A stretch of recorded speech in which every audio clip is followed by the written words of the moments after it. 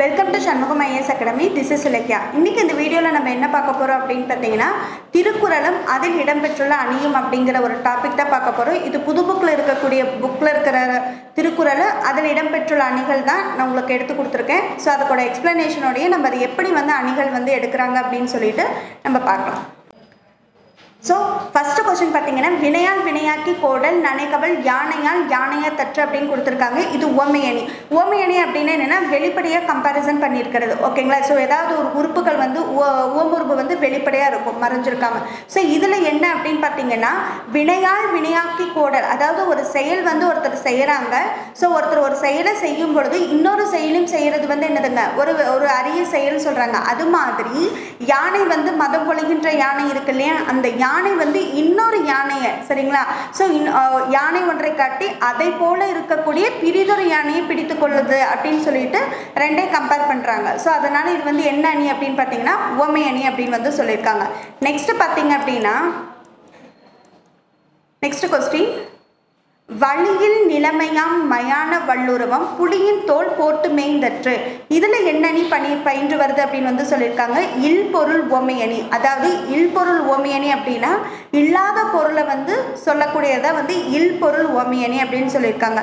இதில் என்ன சொல்லியிருக்காங்கன்னா கருத்து பொருள் என்ன அப்படின்னு பார்த்தீங்கன்னா மனதை அடக்கும் வல்லமை இல்லாதவங்க வந்து மேற்கொள்கின்ற தவம் வந்து புலியின் தோலை போர்த்தி கொண்ட பசுப்பயிரை மேய்ந்த மேய்ந்தது போன்று அப்படிங்கிறத இதுக்கான பொருள். இதுலேருந்து என்ன தெரியுது அப்படின்னு பார்த்தீங்கன்னா மனதை அடக்கும் வல்லமை இல்லாதவர்கள் வந்து மேற்கொள்கின்ற தவம் வந்து பயனில்லாதது சரி கரெக்டுங்களா ஸோ புலியின் தோலை போர்த்தி கொண்ட பசு பயிரை ப அதாவது புளியின் தோலை வந்து பசங்காத போர்த்தி கொள்ளுமா அந்த மாதிரி எதுவுமே இருக்காது. ஸோ இல்லாத பொருளை வந்து ஓமைப்படுத்தி சொல்லியிருக்காங்க. ஸோ நீங்கள் வந்து தவம் இருக்கீங்க அப்படின்னா ஒழுங்காக தவம் இருக்கணும். ஸோ நீங்கள் தவம் இல்லை அப்படின்னா இல்லாத ஒரு விஷயத்த சொல்கிறாங்க எங்காவது பசு வந்து புளியின் தோலை போத்திட்டு இருக்குமா? அந்த மாதிரி இருக்காது. ஸோ இல்லாத பொருளை சொல்கிறதுனால இதை என்ன சொல்லியிருக்காங்க? இல்லாத பொருளை ஓமைப்படுத்தி சொல்கிறதுனால இல் பொருள் ஓமையணி அப்படின்னு சொல்லியிருக்காங்க. புரியுதுங்களா? ஸோ நெக்ஸ்ட் கொஸ்டின் பாருங்கள் கடல் ஓடா கால்வல் நெடுந்தேர் கடல் ஓடும் நாவாயும் ஓடா நிலத்து. இந்த குரட்பாவல் பயின்று வந்துள்ள அணி என்னன்னு கேட்டிருக்காங்க. இது என்ன அப்படின்னு பார்த்தீங்கன்னா உவமை அணி தான் குறிக்குது. அதாவது என்னன்னா இதுக்கு என்ன அர்த்தம் அப்படின்னு பாருங்களேன். வலிமையான சக்கரங்களை கொண்ட பெரிய தேர் கடலில் ஓட முடியுமா? ஓட முடியாது இல்லைங்களா?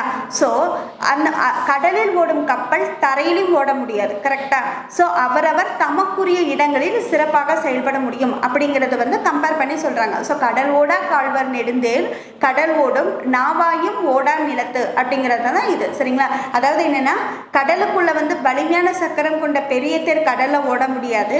அதே மாதிரி கடலில் ஓடக்கூடிய கப்பல் வந்து தரையில் ஓட முடியாது. ஸோ இதை வந்து என்ன பண்ணியிருக்காங்க? ஓமை பண்ணி இந்த மாதிரி அவரவர் அவரவர் இடத்துல தான் இருக்கணும் அப்படிங்கிறத ஓமைப்படுத்தி சொல்றதுனால இது வந்து என்ன சொல்லியிருக்காங்க? ஓமை அணி அப்படின்னு சொல்லியிருக்காங்க. நெக்ஸ்ட் கொஸ்டின் சமன் செய்து சீர்தூக்கும் கோல் போல் அமைந்து ஒரு பல் கோடாமை சான்றோர் கனி. இதில் என்ன அணி பயின்று வந்திருக்குன்னா இதுவும் ஓமி அணி தான். இதுக்கான பொருள் என்ன அப்படின்னு பார்த்தீங்கன்னா தான் சமமாக இருந்து தன்னிடம் வைக்கப்படும் பொருளோட எடையை துலாக்கோல் துலாக்கோல்னா எ- தராசு எடை. ஓகேங்களா? சரியாக காட்டும். அதுபோல தான் நடுவு நிலையில் சரியாக செயல்படுவது சான்றோர் கழகு ஸோ த துலாக்கோல் எப்படி வந்து சரியான எடை காட்டுதோ அது மாதிரி தான் நம்மளும் வந்து நடுநிலைமையில் இருந்து மற்றவங்களுக்கு வந்து ஒரு வழிகாட்டியாக இருக்கணும். அதுதான் நமக்கான அழகு அப்படின்னு சொல்லிட்டு ஓமைப்படுத்தி சொன்னதுனால இதுவும் ஓமை அணி இது புரியுதுங்களா? இதில் இல்லை அப்படின்னாலும் போல அப்படிங்கிற உருவு வந்து வெளிப்படையாக வந்திருக்கா? ஸோ அந்த மாதிரி டைரக்டாக கம்பேரிசன் கொடுத்துருந்தாங்கன்னா அது ஓமை அணி இன்டைரக்ட் கம்பேரிசன் கொடுத்துருந்தாங்கன்னா அது எடுத்துக்காட்டு ஓமை அணி இதுதான் இது ரெண்டுக்குள்ள டிஃப்ரென்ஸ் நெக்ஸ்ட் ஃபிஃப்த் ஒன் செல்வத்துள் செல்வம் செவிச்செல்வம் அச்செல்வம் செல்வத்துள் எல்லாம் தலை. இந்த குரலில் என்ன அணி பயின்று வருதுன்னா சொல் பின்வரும் நிலையணி. ஸோ செல்வம் அப்படிங்கிற சொல் வந்து திரும்ப திரும்ப வருது பட் வேறொரு பொருள்களில் வர்றதுனால இது வந்து சொல் பின்வரும் நிலையணி மட்டும்தான் சொற்பொருள் கிடையாது. ஓகேங்களா நெக்ஸ்ட் ஒன் பெருமைக்கும் ஏனை சிறுமைக்கும் தத்தம் கருமமே கட்டளைக்கள் இதில் என்னென்னா ஏகதேச உருவகணி. ஸோ ஃபஸ்ட்டு வந்து உருவகணி அப்படின்னா என்னென்னு தெரிஞ்சுக்கோங்க. உருவகம்னா உருவகப்படுத்தி சொல்கிறது அப்படின்னு அர்த்தம். சரிங்களா? அதாவது வந்து எக்ஸாக்டாக தமிழில் சொல்லணும் அப்படின்னா உவமேயம் உவமானம் அப்படின்னு சொல்லுவாங்க. சரிங்களா? உவமானம் முன்னாடியும் உவமேயம் பின்னாடியும் வந்துச்சு அப்படின்னா அது உவமையணி. இது அப்படியே ஆப்போசிட்டில் வந்துச்சுன்னா உருவகணி அப்படின்னு சொல்லுவாங்க. ஒரு ஒரு எக்ஸாம்பிள் சொன்னேன்னா உங்களுக்கு புரிஞ்சிடும். சரிங்களா? மலர் பாதம் அப்படின்னு என்னது? மலர் போன்ற பாதம். அப்போ மலர் போன்றங்கிற உருவு வந்து மறைஞ்சு வந்திருக்கு. ஸோ அதனால உவமையணி அப்படின்னு வந்து சொல்லிட்டோம். இதே வந்து பாத மலர் அப்படின்னா அது உருவகம். சரிங்களா? முன்னாடி பின்னாடி இந்த மாதிரி இன்டர்சேஞ்ச் பண்ணுறது தான் வந்து உவமைக்கும் உருவகத்துக்கும் உள்ள வேறுபாடு. ஏகதேச உருவகணினா என்னென்னா ஒன்றை மட்டும் உருவகப்படுத்தி இன்னொன்று உருவகப்படுத்தாமல் இருப்பாங்க. அதுதான் என்னது அப்படின்னா ஏகதேச உருவகணி. புரியுதுங்களா? ஸோ இதில் என்ன சொல்லியிருக்காங்க அப்படின்னு பார்த்தீங்கன்னா ஆறாவது திருக்குறள். இல்லைங்களா? ஒருவரின் பெருமைக்கும் சிறுமிக்கும் அவரது செயல்பாடுகளை ஆராய்ந்தறியும் உரைக்கல் ஆகும். சரிங்களா? ஸோ ஒன்றத்துக்கு மட்டும் உருவகப்படுத்தியிருக்காங்க. இன்னொன்றுக்கு வந்து உருவகப்படுத்தாமல் இருக்காங்க. ஸோ அதனால் இது என்னன்னு சொல்கிறாங்க ஏகதேச உருவகணி அப்படின்னு வந்து சொல்லியிருக்காங்க. நெக்ஸ்ட் ஒன் தீயினால் சுட்டப்புண் உள்ளாரும் ஆறாதை நாவினால் சுட்டவடு இதில் என்ன நீ அப்படின்னா வேற்றுமை அணி வேற்றுமைப்படுத்தி சொல்கிறாங்க இல்லைங்களா? தீயினால் சுட்டப்புண் கூட உள்ள ஆறிடும் பட் நாவால் நீங்கள் சொன்ன சொல் வந்து உள்ளுக்குள்ளே இருந்துக்கிட்டு ஆறாத வடுவாக இருந்துட்டுருக்கும் அப்படின்னு சொல்லிட்டு ஒன்றோட ஒன்று வேறுபடுத்தி சொல்கிறதுனால இது வந்து வேற்றுமை அணி பயின்று வருது. நெக்ஸ்ட் ஒன் இரவென்னும் ஏமாப்பில் தோனி கரவென்னும் பார்த்தாக்க பக்குவிடம். இதில் என்ன அணி இடம்பெற்றிருக்கு அப்படின்னா உருவகணி. உருவகப்படுத்தி சொல்லியிருக்கிறதுனால இது வந்து உருவகணி அப்படின்னு வந்து சொல்லியிருக்காங்க. ஸோ நைன்த் ஒன் பார்த்தீங்கன்னா காண முயலெய்த அம்பினில் யானை பிழைத்த வேல் ஏந்தல் இனிது அப்படின்னு வந்து சொல்லியிருக்காங்க.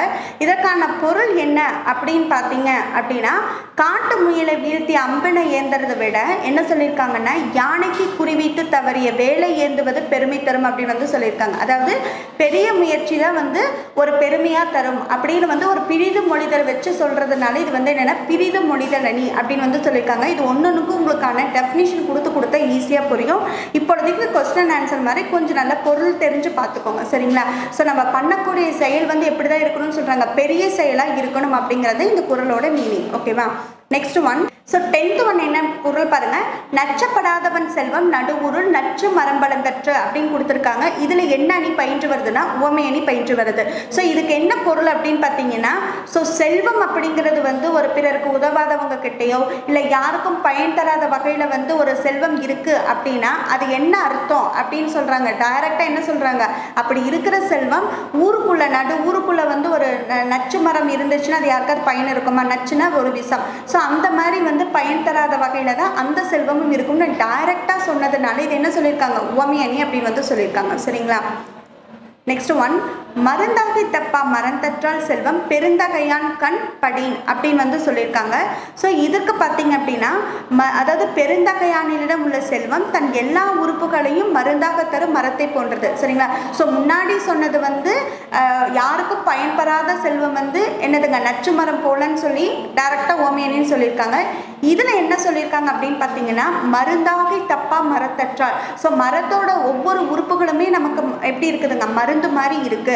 அதே மாதிரி தான் ஒரு பெருந்தகையான் கிட்ட இருக்கக்கூடிய செல்வமும் மற்றவர்களுக்கு பயன் தரக்கூடியதா இருக்கும்னு சொல்லிட்டு டைரக்டாக வந்து ஓமைப்படுத்தி சொல்லியிருக்கிறதுனால இது வந்து என்னதுங்க ஓமை அணி எடுத்துக்காட்டுனா அப்படி டைரக்டாக இல்லாமல் வேறொரு பொருளை நீங்கள் தேடுற மாதிரி இருக்கும். அதுதான் எடுத்துக்காட்டாக சொல்றது. புரியுதுங்களா? டுவெல்த் ஒன்று உடன்பாடு இல்லாதவர் வாழ்க்கை குடங்கருள் பாம்போடு உடன் உறைந்தற்று. அப்படிங்கிறது வந்து என்னன்னா அகத்துல அதாவது உள்ளம். அகம்னு என்னதுங்க? உள்ளம். ஸோ உள்ளத்துல பார்த்தீங்கன்னா உடன்பாடு இல்லாதவருடன் குடிவாழக்கூடிய வாழ்க்கை ஒரு குடிசையில பாம்பு கூட வாழ்ற மாதிரி இருக்கு அப்படின்னு வந்து டைரக்டா சொல்லிட்டாங்களா? ஸோ அதுதான் வந்து. இது என்னது? எடுத்துக்காட்டு எடுத்துக்காட்டு கிடையாது. இது ஓமை அணிந்த வரும். ஏன்னா இது டைரக்டா சொல்லிட்டாங்க பாருங்க. உடன்பாடு இல்லாதவரோட வாழ்க்கை அப்படிங்கிறது என்னது? எதுலையுமே உடன்பாடு இல்லாதவங்க கிட்ட நம்ம வாழக்கூடிய வாழ்க்கை எப்படின்னா ஒரு குடிசையில பாம்பு கூட வாழ்ற மாதிரி. கரெக்டுங்களா அது வந்து டைரெக்டாகவே நம்மளுக்கு அந்த குரல் படித்தாலே வருது இல்லையா? அப்போ இது என்னது அணி? ஓமி அணி அப்படிங்கிறது அர்த்தம். இத்தனை ஓமியணி நான் சொல்லியிருக்கேன். ஸோ இதுலேருந்தே உங்களுக்கு தெரிஞ்சிருக்கும். எந்த மாதிரி இருந்தால் அது ஓமியணி படித்த உடனே மீனிங் ரெண்டுக்குமே லைன்லேயே நம்ம எடுக்க தெரிஞ்சதுன்னா அது ஓமியணி அவ்வளோதான் நெக்ஸ்ட் ஊழிப்பெயரினும் சான்றாண்மைக்கு ஆளி எனப்படுவார் அப்படின்னு வந்து சொல்லியிருக்காங்க. ஸோ இது என்ன இதில் வந்து என்ன சொல்லியிருக்காங்க அப்படின்னா ஏகதேச உருவகணி அப்படின்னு வந்து சொல்கிறாங்க அதாவது ஊழிக்காலம் வந்தாலும் சான்றாண்மை என்னும் கடலுக்கு கரை போன்றவங்க வந்து மாற மாட்டாங்க அப்படின்னு வந்து சொல்லியிருக்காங்க. ஸோ இது வந்து ஏகதேச உருவகணி. நெக்ஸ்ட் ஃபோர்டீனு தேவர் அணையர் கயவர் அவரும் தான் மேவன செய்தொழுகலான். இது என்னென்னா பஞ்ச புகழ்ச்சி அணி. இதில் என்ன சொல்லியிருக்காங்க? கயவரும் தேவரை போல தான் விரும்புகின்றவரை செஞ்சுக்கிறாங்க. கரெக்டாக தேவர்கள் தாம் விரும்பக்கூடிய செயலை செய்கிற மாதிரி கயவர்களும் செஞ்சுருக்காங்க. ஆனால் தேவர்கள் செய்கிறது வந்து உயர்வான செயல் கயவர்கள் செய்கிறது வந்து ஒரு தாழ்வான செயல். அப்போ இது என்னதுங்க? பஞ்ச புகழ்ச்சி அணி. சரிங்களா? ஒருவரை இகழ்வது போல புகழ்தல் புகழ்வது போல பழித்தல் அப்படிங்கிறது தான் இதுக்கான எக்ஸாம்பிள் பதினஞ்சாவது பாருங்க. பண் எண்ணாம் பாடத்திய பின்றேல் கண் எண்ணாம் கண்ணோட்டம் இல்லாத கண். இங்கு இங்குரட்பாவல் பயின்று வந்துள்ள அணி என்னன்னு பார்த்தீங்கன்னா எடுத்துக்காட்டு ஓமேனி. சரிங்களா? இப்போ இது வரைக்கும் உவமை அப்படிங்கிறது எப்படி நான் சொல்லிட்டேன். எடுத்துக்காட்டு ஓமேனியில் எப்படி நீங்கள் ஃபைண்ட் அவுட் பண்ணணும் இது ஒரு எக்ஸாம்பிள் பார்த்தீங்கன்னா உங்களுக்கு புரிஞ்சிடும் ஸோ பண் என்ன பாடற்கிய பின்றேல் அப்படின்னா என்ன அப்படின்னா இசை பண்ண என்னதுங்க? இசை. ஸோ பாடலோட பொருந்தாத இசை இருந்தால் ஏதாவது பயன் இருக்கா? இல்லை. ஸோ அதுதான். அதே மாதிரி கண் கண்ணோட்டம் இல்லாத கண் அப்படின்னா என்னன்னா அது போல இரக்கம் இல்லாதவர்கள் கிட்ட இல்லைங்களா? இரக்கம் இல்லாதவங்க கிட்ட கண் இருந்து என்ன பயன் அப்படிங்கிறத வந்து இன்டெரக்டாக கேட்குறாங்க சரிங்களா? ஸோ அப்போ இதில் என்னன்னா போல அது போலங்கிறது மறைஞ்சு எடுத்துக்காட்டாக வந்திருக்கு. அப்போ இது என்ன நீங்கள் எடுத்துக்காட்டு ஓமேனி. இப்படி தான் ஓகேங்களா? வெளிப்படையாக வராமல் அது போல அப்படிங்கிறது மறைஞ்சு சொல்லணும். ஸோ பன்னெண்ணம் பாடற்கிய பின்றேல் கண் என்ன கண்ணோட்டம் இல்லாத கண். இதுக்குள்ளே பார்த்தீங்கன்னா அது போலங்கிறது மறைஞ்சு வந்திருக்கிறது எடுத்துக்காட்டாக சொல்லியிருக்கிறதுனால இது என்ன நீங்கள் எடுத்துக்காட்டு ஓமையணி. புரிஞ்சுருது இல்லைங்களா? பதினாறாவது ஒன்று அகலாது அணுகாது தீக்காய்வார் போல்க இகழ்வேந்த சேர்ந்த ஒழுகுவார் அப்படின்னு இது வந்து என்னென்னா தொழிலை வச்சு ஓமைப்படுத்தி சொன்னதுனால தொழில் ஓமையணி அப்படின்னு வந்து சொல்லியிருக்காங்க. நெக்ஸ்ட் செவன்டீன் ஒன் அன்பும் மரணம் உடைத்தாயின் இல்வாழ்க்கை பண்பும் பயனும் அது. இதில் என்ன அணி அப்படின்னா நிரல் நிறை அணி. நிரல் நிறை அப்படின்னா ரோன் காலம் வச்சு சொல்லியிருப்பாங்க. ஸோ அன்பும் பண்பும். அதை வச்சு நிரல் நிறை அணி அப்படின்னு சொல்லியிருக்காங்க. நெக்ஸ்ட் ஒன் எண்ணிய எண்ணியாங்கு எய்துவ எண்ணியா டின்னியர் ஆக பெறேன். இதில் என்ன குரல் பயின்று வந்திருக்கு அப்படின்னா சொல் பின்வரும் நிலை அணி வந்து பயின்று வந்திருக்கு சரிங்களா? ஸோ எண்ணிய அப்படிங்கிறது என்ன எண்ணத்தை வந்து சொல்லக்கூடியது. ஸோ சொற்கள் மட்டும்தான் வந்திருக்கு. பொருள் வந்து ஒவ்வொரு ஒன்றுலையும் வெவ்வேறையாக வந்திருக்கு அப்படிங்கிறதுனால சொல் பின்வர் நிலையணி அப்படின்னு சொல்லியிருக்காங்க. நெக்ஸ்ட் ஒன் சுடச்சுடரும் பொன் போல ஒளிவிடும் துன்பம் சுடச்சுட நோக்கிற்பவர்க்கு. அப்படிங்கிறது வந்து சொல் பின்வர் நிலையணி தான் ஓகேங்களா ஸோ சுட சுட அப்படிங்கிறது வந்து என்ன சொல்லியிருக்காங்க அப்படின்னா சொற்கள் மட்டுமே பின்னாடி வருது அப்படின்னு வந்து சொல்லியிருக்காங்க. நெக்ஸ்ட் டுவெண்ட்டி அகழ்வாரை தாங்கும் நிலம் போல தம்மை இகழ்வார் பொருத்தல் தலை. இது ஓமியணி. போலங்கிறது வந்து வெளிப்படையாகவே வந்துருச்சு. ஸோ அது என்னதுங்க? ஓமியணி அப்படிங்கிறது தான். ஸோ இதோட வந்து இன்றைக்கான இந்த அணி இலக்கணம் வந்து உங்களுக்கு அதாவது புது புக்கில் இருக்கிறது. சிக்ஸ்த்து டு டுவெல்த்து சரிங்களா? அதில் இருக்கக்கூடிய புது புக்கில் இருக்கக்கூடியதெல்லாம் உங்களுக்கு நான் வந்து எடுத்து கொடுத்துருக்கோம். ஸோ இதை வந்து யூட்டிலைஸ் பண்ணிக்கோங்க. உங்களுக்கு அணி இலக்கணம் அப்படிங்கிறத வந்து நம்ம எடுத்துக்காட்டோடு சொல்லி உங்களுக்கு எக்ஸ்ப்ளனேஷன் ஓகேங்களா ஓ மானம்னு என்ன ஓ மெய்யம்னு என்ன? அதெல்லாம் போர்டில் எக்ஸ்பிளைன் பண்ண உங்களுக்கு இன்னும் ஈஸியாக புரியும். ஸோ நெக்ஸ்ட் வீடியோவில் கண்டிப்பாக இந்த அணி இலக்கணத்தை வந்து நான் உங்களுக்கு போர்ட் ப்ரெசன்டேஷன் கொடுத்து உங்களுக்கு வீடியோ கொடுத்துருவேன். ஸோ கண்டிப்பாக அதை யூஸ் பண்ணுங்கள் இன்னொன்று வந்து கருப்பொருள் நிறைய பேர் கேட்டுட்டு இருக்கீங்க அதுக்கான வீடியோவும் நான் ஃப்யூச்சரில் கண்டிப்பாக அப்லோட் பண்ணுறேன் ஸோ தேங்க்ஸ் ஃபார் வாட்சிங் இதே மாதிரி தொடர்ந்து சப்போர்ட் பண்ணிகிட்டே இருங்க. உங்களுக்கான வீடியோ தொடர்ந்து சண்முக மையஸ் அகாடமிலேருந்து வந்துக்கிட்டு இருக்கோம் இன்னொன்று என்ன அப்படின்னு பார்த்தீங்கன்னா செப்டம்பர் மந்த்லேருந்து ஆன்லைன் டெஸ்ட் பேட்ச் வந்து ஆரம்பிக்க போகிறோம் அது ஃபுல் அண்ட் ஃபுல் வந்து உங்களுக்கான டேட் வந்து கூடிய சீக்கிரத்தில் அனௌன்ஸ் பண்ணுவோம். அதுக்கான வெப்சைட்ஸ்லாம் எங்களுக்கு ரெடி ஆகிட்டு இருக்கு ஸோ அதை தொடர்ந்து பார்த்துக்கிட்டே இருங்க. தொடர்ந்து என்ன சொல்கிறது தொடர்ந்து சப்போர்ட் பண்ணிகிட்டே இருந்தீங்க அப்படின்னா உங்களுக்கான பெனிஃபிட் எங்கள் சைட்லேருந்து கண்டிப்பாக கிடைக்கும். ஓகேவா all the very best thank you Shanmugam IAS அகாடமியை subscribe பண்ணாமல் இருந்தீங்கன்னா சப்ஸ்கிரைப் பண்ணி கூடவே அந்த பெல் ஐக்கானை கிளிக் பண்ணுங்கள் உங்களுக்கான நோட்டிஃபிகேஷன் வந்துட்டு இருக்கும். தேங்க்யூ